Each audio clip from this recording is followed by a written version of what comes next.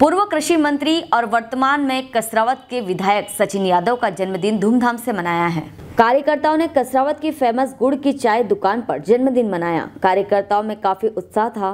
विधायक सचिन यादव के हाथों केक कटवाकर सभी ने खुशी ज़ाहिर की और गुड़ की चाय दुकान, जो इन दिनों कसरावत में काफ़ी लोकप्रिय हो रही है, विधायक ने गुड़ की चाय पी एवं साथियों को भी गुड़ की चाय पिलाई। यह चाय ऑर्गेनिक गुड़ से बनी है, जो सेहत के लिए फ़ायदेमंद होती है। कसरावत से अकील खान की रिपोर्ट। हेलो फ्रेंड्स आप देख रहे हैं हमारा channel S W twenty four news हमारे सारे वीडियो सबसे पहले देखने के लिए आप हमारे चैनल को सब्सक्राइब करें और पास में लगे बेल आइकोन को दबाना बिल्कुल भी ना भूलें।